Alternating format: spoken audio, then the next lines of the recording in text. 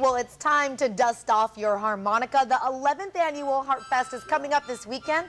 Love that sound. We got a preview for you next.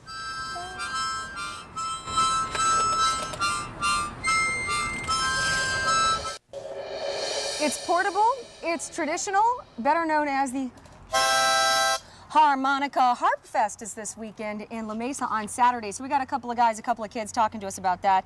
So first, let's introduce you with, uh, we got two Johns here, but first, John Whitman? Whiteman. Whiteman. Hi, Mhm. John. Hello, Chrissy. Okay, so you're going to be at the festival at Harp Fest this weekend on Yes. Saturday. First of all, the obvious question for me is if it's a harmonica festival, why is it called Harp Fest? Are there going to be harps there? No, harps is, is another word for a harmonica. It's a shorter word and easier to say when you're saying it a lot of times. Okay, so it's slang for harmonica. Yes, Okay, so before we talk more about the festival, let's talk about harmonicas and the history. Where did they come from? They- how long have they been around? They've been around since uh, around 1820, 1821, and they were uh, first invented in, in Germany. A uh, fellow named uh, Christian Buschmann, he took a, a, uh, a, a, uh, pitch pipe like this, which is for uh, tuning a uh, string instrument. And uh, when you play it, it, the notes are not in order. You see, and he rearranged them, and then uh, he got them in in a in a musical order, and uh, that's how the harmonica started. And So this is the first one that was made in the U.S. Oh, wow. in about 1830. Hold and you can see this looks like a bunch of pitch pipes right here. Oh, cool. So wh- what is a harmonica? Pitch pipes.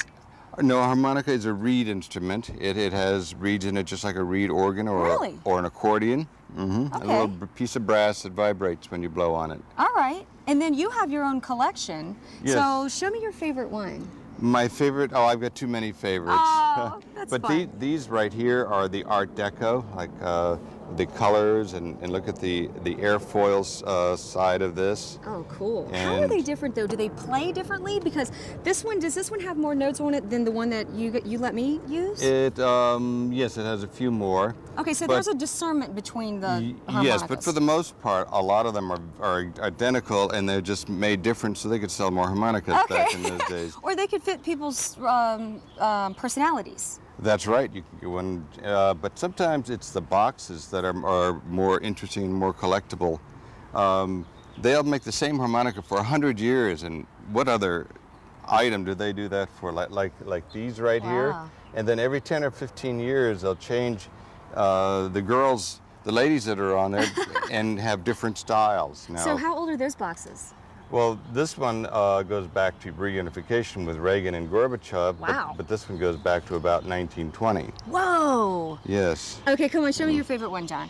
My favorite one. Come on, just pick Well, one. th- this The is my favorite. Cool. Uh, but th- this is one of the mo- most recent one I got, and it Okay. uh, was made in 1912, and it has one of the first airplanes. Oh, cool. Here's one with the Zeppelin on it. Okay, well, John Whiteman, you're going to be at the fest, Harp Fest this Saturday. So Yes, I am. And you can go see him, and you can see his harmonicas this Saturday from 12 to 6. It's free at um, Harry Griffin Park. So thank you, John. So we're going to go over and talk with John Frazer. Yes. Hi, kids. Who do you have with you, John? Well, these are some um, of my sister's um, friends that she brought down uh, to be able to. Uh, you guys talk, yell out your names, So- okay, real quick, if you want. You, well, uh, yeah, kids, real quick, your names, real quick. Just Daniel. Kayla. and your name? Did you get your name? Angelina. Angelina. All right. Okay. Okay. So, John, you're a professional player. You're a professional musician, right? In in a in a way, if I had if I got won a million dollars um, playing the uh, wi- the lottery, I would be able to um, keep playing until the money ran out. Now, can you play a little something for us? Let's get a little demonstration.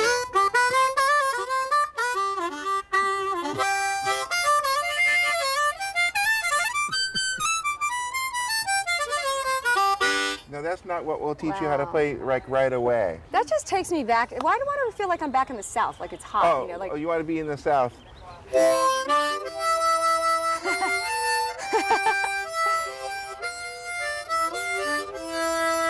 You can play all different kinds of Well, music with the harmonica. I, I tell us about Harp Fest though. Why why is it that you're having it, and what's the story behind it? Harpfest, uh, my dad um, always, you know, he saw me play the harmonica and he said, well, you know, why don't you put on a festival, you know? And, and so some friends of mine got together and we said, okay. And one friend said, I know a place.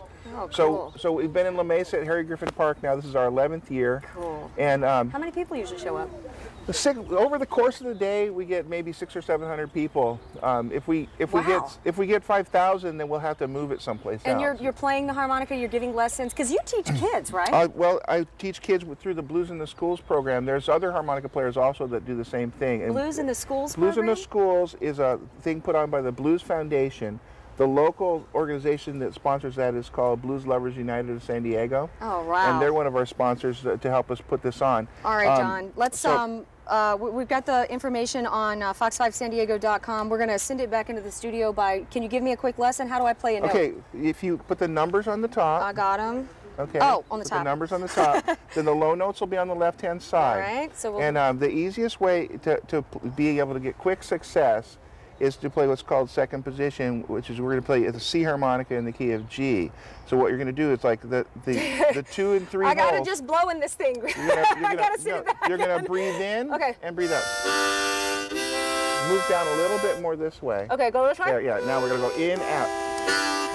We're going to go in, Wouldn't out. that be cool if I tossed to you guys like that every time? You're going to be you, repetitive. John. now listen, we're going to go I got to in, send it back. out, in, I got it.